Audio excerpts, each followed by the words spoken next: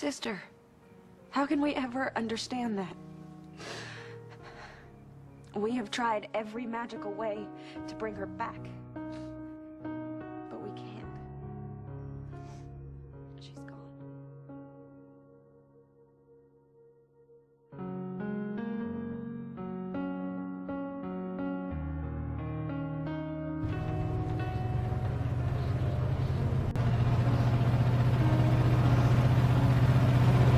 So,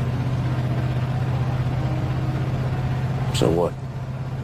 I saw your eyes. So, what changed your mind? Honestly?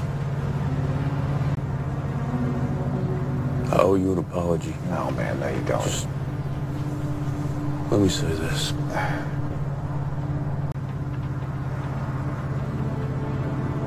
Hell, if you're grown up enough to find faith in me,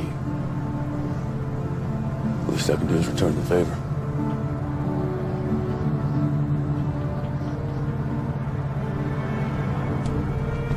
It's a screw destiny. Right in the face. I say we take the fight to them and do it our way.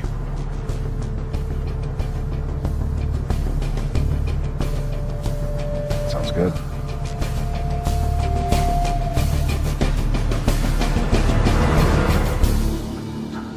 I know the life that I live.